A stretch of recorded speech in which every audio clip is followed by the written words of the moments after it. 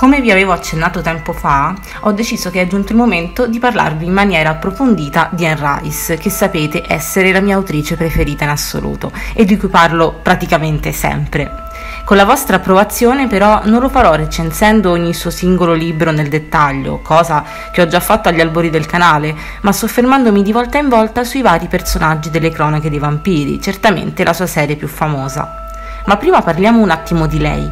Chi è Anne Rice? È una scrittrice americana nata a New Orleans nel 1941. New Orleans è una città importantissima per la donna e le sue opere, ma ne parleremo tra poco. Ed è uno degli autori di maggior successo della storia moderna.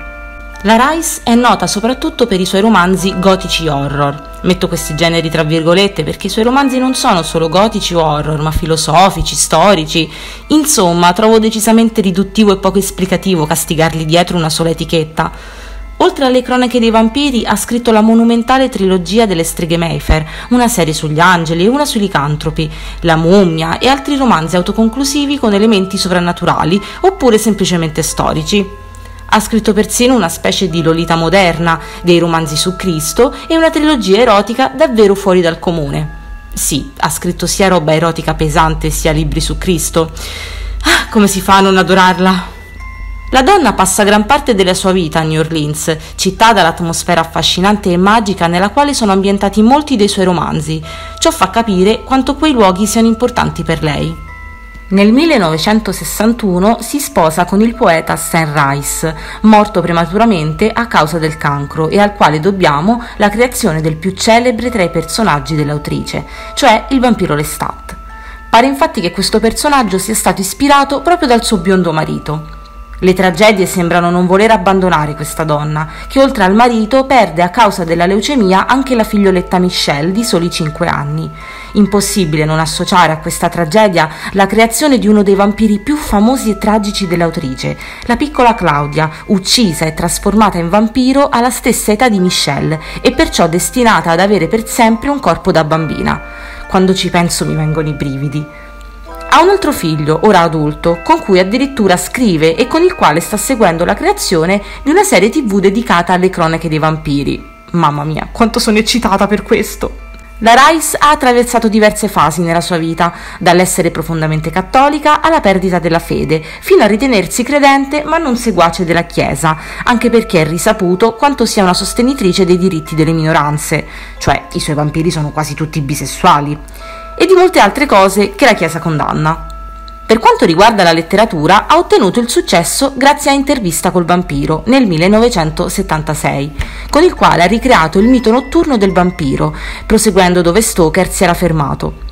Se i vampiri del passato e delle leggende erano creature mostruose, crudeli e senza sentimenti, vedi Dracula, quelli del Rice sono oscuramente luminosi, capaci di incarnare e raccontare i mali e le angosce della contemporaneità.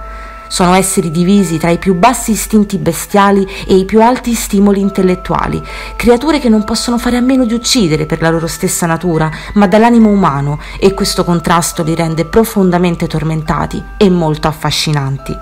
A dare maggiore valore a tutto questo interviene la penna magistrale dell'autrice, capace di risucchiare il lettore all'interno delle situazioni e delle immagini da lei evocate uno stile elegante, denso e profondo, sensuale e celestiale allo stesso tempo, su cui soffermarsi durante la lettura, per riflettere o solo godersi le parole, che dà vita a frasi che vanno tenute sulla lingua, assaporate.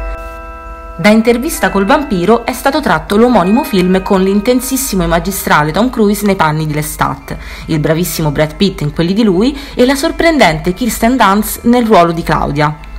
Il film è splendido, un capolavoro, ed è riuscito in qualche modo a cogliere le atmosfere della Rice. C'è anche un altro film tratto da una delle opere dell'autrice, La regina dei dannati, tratto dall'omonimo romanzo, ma è una sorta di flop che ha snaturato i personaggi e cambiato di molto la storia originale. Le canzoni sono belle e Stuart Townsend ha fatto emergere il lato più sensuale di Lestat, ma sicuramente è un film per nulla all'altezza del libro. Ci sarebbe molto altro da dire su questa donna fantastica, ma il resto di lei ve lo dirò analizzando i suoi vampiri, altrimenti non ne usciamo più. Quindi, cominciamo. Iniziamo con lui, protagonista di Intervista col vampiro, perché non è necessario leggere tutti i libri delle cronache per parlarvene, in quanto, anche se compare un po' in tutti i volumi, viene approfondito realmente bene solo nel primo. Diciamo che Intervista col vampiro è il libro di lui. Siccome sto facendo un'ennesima rilettura di questa serie, degli altri personaggi vi parlerò quando sarà il momento. Ma torniamo a lui, lui de Point du Lac, un vampiro che decide di rilasciare un'intervista a un giovane a caccia di storie. Così i due si siedono in una stanza, un registratore a cassette acceso e lui inizia a raccontare. Racconta che era il 1791 quando Lestat, un vampiro, lo trasformò in un suo simile, approfittando dello stato di depressione in cui lui era caduto per via della morte del fratello. Si trovavano a New Orleans e Lestat aveva bisogno dei possedimenti e del denaro di lui, per questo decise di farne il suo compagno immortale. Lestat però si rivela essere un uomo frivolo e crudele, un maestro negligente per lui, che presto si rende conto di quanto questa sua immortalità sia in realtà una maledizione.